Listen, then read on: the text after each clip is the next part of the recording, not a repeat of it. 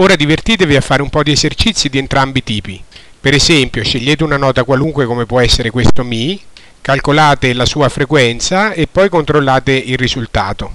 Potete scegliere anche un tasto nero come per esempio il Mi bemolle e potete scegliere sia note più alte della, eh, della 4 sia note più basse. Poi fate anche l'esercizio del secondo tipo, scegliete una qualsiasi di queste frequenze sia di una nota sopra il La 4 ma anche di una nota sotto. Per esempio scegliete 220 Hz, questo è troppo facile. Scegliete 146,8 Hz per esempio e dovete riconoscere di che nota si tratta. E poi controllate sulla tastiera se il risultato è corretto